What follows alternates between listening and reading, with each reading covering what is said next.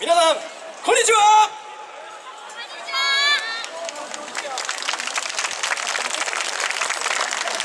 我々は秋田市で活動しております。商船百景と申します。今年のテーマは妖艶。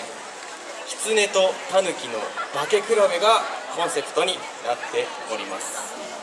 狐と狸妖艶な世界をお楽しみください。最後まで一生懸命演舞させていただきますのでよろしくお願いいたします。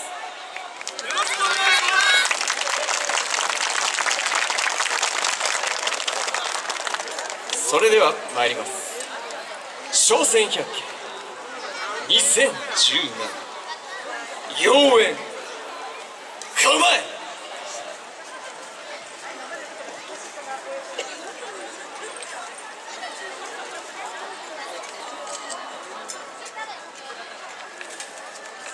playing.